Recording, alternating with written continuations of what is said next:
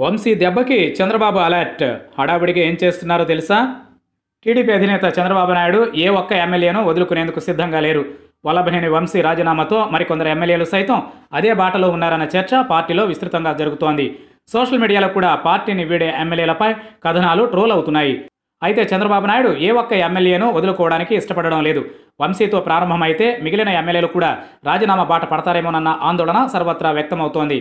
వల్లభనేని వంశీ కానీ మరెవరైనా కానీ రాజీనామా చేస్తే ఉప ఎన్నికలు అనివార్యం. నిజానికి వల్లభనేని వంశీ స్పీకర్ ఫార్మాట్లో కనుక తమ్మినేని సీతారాంకు పంపించి ఉంటే ఆయన ఆమోదానికే మొగ్గు చూపేవారు. ఇప్పటికే పార్టీ ఫిరాయింపులను ప్రోత్సహించవద్దని జగన్ స్పష్టం చేసిన సంగతి తెలిసిందే. అయితే ఉప ఎన్నికలను ఎదుర్కొనడం కష్టమని చంద్రబాబుకు తెలియంది కాదు. పార్టీలో అసంతృప్తిగా ఉన్న ఎమ్మెల్యేలను విడివిడిగా కలిసి మాట్లాడాలని చంద్రబాబు నిర్ణయించుకున్నట్లుగా తెలుస్తోంది. వారితో మాట్లాడి వ్యక్తిగత సమస్యలతో పాటు ప్రభుత్వ పరంగా ఎదుర్కొంటున్న కేసుల వివరాలను కూడా చంద్రబాబు తెలుసుకోనున్నారు. ఇటీవల జరిగిన ఎన్నికల్లో ఖర్చు పెట్టి ఆర్థికంగా దెబ్బతిన్న వారిని కూడా ఆదుకుంటానని వారికి భరోసా ఇవ్వనున్నారు. ప్రకాశం జిల్లా నుంచి కరణం బలరాం గొట్టిపాటి రవికుమార్ విశాఖ నుంచి గంటా శ్రీనివాసరావు పేర్లు ప్రముఖంగా వినిపిస్తున్నాయి.